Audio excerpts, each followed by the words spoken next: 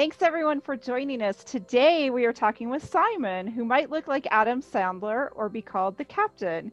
He's from Morocco, but doesn't like Moroccan hot sauce or ice cream. It's too cold for his hot blood.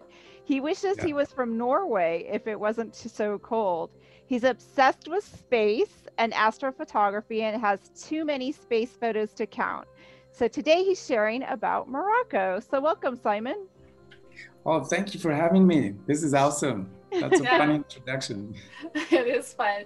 Welcome, Simon. So I'm going to start our seven minute timer. Where there it goes. And okay. so can you just tell us um, wh- why uh, Morocco? Why do you love it? What's so special about it for you? So Morocco is a very special place. It's a melting pot of uh, three uh, big cultures: European, African, Middle Eastern. So I was born. It's always a joy when I take people there and uh, I make them uh, live and feel uh, the excitement and uh, the, the Moroccan experience again. That's great. That's wonderful. So, what are some of the most must see places if we come to Morocco? So, the city where I'm from is called Marrakesh. It's uh, pretty much the city I will give you the authentic lifestyle of Morocco. And if you go to the old town, it's like literally traveling back in time to see how people used to live oh, three, wow. 400 years ago. They still making, they still like neighborhoods have their own uh, kind of like uh, a traditional oven where, you know, every house will send the kids with the, you know, uh, bread that it's made from scratch every morning for, for lunch. So there's still a lot of lifestyles like that. Um, the Sahara Desert, spend the night under the, the stars in a tent, or you know, in the Camel Inn. It's it's a must do. Uh, if you want to go up north, uh, the Blue City, of Chefchaouen, is uh, very Instagrammable. Uh, Fes is also a city of a lot of uh, ancient culture um, for Northern Africa, especially Morocco. I think Fes had the first university um, in the modern world, actually was made there. Uh, so depending on what you want, Morocco has uh, uh, you know beaches all over the place. If you want to go to Agadir, Casablanca or Tangier up in north, the Sahara, and also the culture with with Marrakesh. So. Wow. That sounds beautiful. So you mentioned the bread, and we always ask about food. So I'm going to ask the food question. yeah, what, do you, what do you got to share with us about the amazing food there? And yes, the... the... Moroccan culinary um, is very rich. Uh, well, Moroccan dishes are a little bit um, heavy because they take time, but they're also very simple and there's a variety. Obviously, the, the famous one is couscous um, with vegetables or meat, but also the tagine. It's uh, it's kind of like a traditional dish where it's like a, a pot where you you put in uh, vegetables and meat uh, if you if you eat meat and let them uh, cook slowly.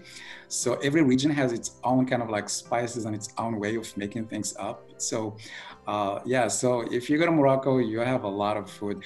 One thing though, um, we have a lot of bread in, in our dishes. So you eat a lot of bread if you go to Morocco. Sure. That's good. We love bread, right, April? Yeah, we like bread. We love the smell of bread. We always are talking about bread. So yeah. I think I could I could live with that. So when people come to Morocco, what do you think they're most surprised by? What are they so a lot of changes have happened in Morocco. Um, a lot, some people think that Morocco is still that uh, very close-minded uh, country and people are super uh, traditional, but you'll be surprised that uh, Morocco is a country where there's a lot of differences living all together, different uh, religions, different cultures, and uh, people get surprised at how modern and also, for example, in Morocco, is you could be walking in, in the old town, little tiny open a door of one of the houses and inside is like a huge luxury castle or a garden and, and like a, a, little pool and it's it's oh. fascinating it's like you literally going in and out of uh, kind of like a, a fantasy of stories oh, wow. you know coming up from the past but also you live in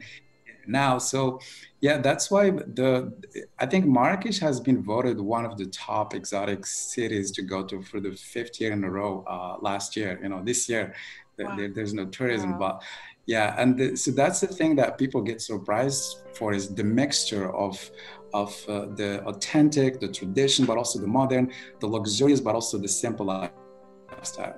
Yeah. Wow. Wow. So, what is your favorite photography location? Yeah, it's like also. Some... Oh, go ahead. Yeah, yeah. Go ahead. I, was, I want to hear. Yeah, I was just going to ask what your favorite photography location was. You sent us some beautiful photos, so I think you uh, enjoy doing that as well. Yes. Uh, so for me, I, I really love, uh, you know, I, I, like space and stars and stuff. So the yeah. Sahara will be the place to be, okay. especially for sunsets, sunrises yeah, you'll, you'll get the best kind of like landscape views over uh, the horizon. Uh, the authentic uh, houses and doors and architecture in Marrakesh or Fez is really something to not miss up. Uh, but also, if you want to go south to Laayoune, where the desert meets the, the beach, it, there's just like a beautiful sceneries out there. Uh, oh. but yeah, so uh, Morocco has always been an exciting place to be. And I always like to give a reference to Aladdin movie uh, because you'll, you'll, if you go there, you'll actually feel like you're you're in that movie sometimes. Yeah. That's fabulous. So connecting with locals, um, there's probably a language difference. I mean, do most people speak yes. English? And how, if I visit, am I going to feel comfortable with the locals? Or tell yes. us about connecting with the locals. So um, in Morocco, most Moroccans speak at least two to three languages, um, oh. you know, as you know, on the go. Uh, uh, so for me personally, I speak five. So English is my fifth language. Oh my gosh. So uh, I was born to a native Moroccan family called Berber. So we speak Berber language, and in, in the Berber language, there's three dialects in Morocco, depending on the region. There's one in the north, the middle, and the south. So, and then you, so inside the family, we speak Berber. You come out to the streets and you speak the Moroccan dialect, which is a mixture of Arabic and French and Spanish and, and Hebrew. And, and uh, then if you want to go to work, it's French. So oh. French is oh. business language.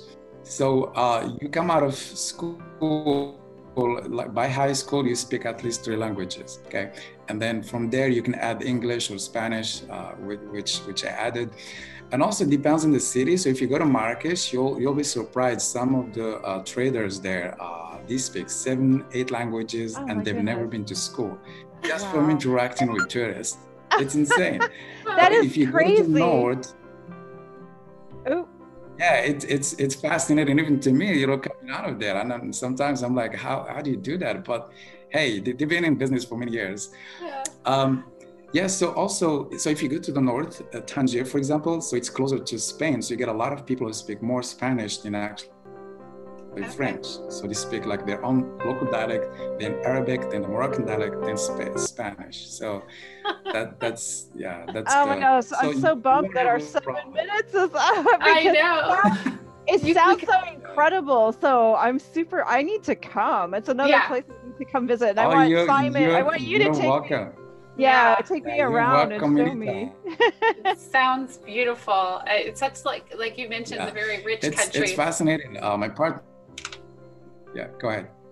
It's okay. It's just a, yes, it's a very rich definitely. country. Uh, Lots you're, going on. You're welcome, and everyone speaks. Uh, yeah, yeah. There's a lot going on, and if you're in a touristic city like Marrakesh, Essaouira, or Agadir, most people speak English, uh, you know, so you, will find your way around. It'll be easy. All right. Well, that's our seven minutes, Simon. Thank you so much for sharing about Morocco. Now we all need to go if you didn't want to go before. um, and now we have a new question and answer series. So if you want to send us our question, your questions about travel or anything, we'll answer them. Uh, there's a link in our description below and travel with us through real stories from real people. Thanks, Simon. Thank you, nice. Simon. Thank you for having me.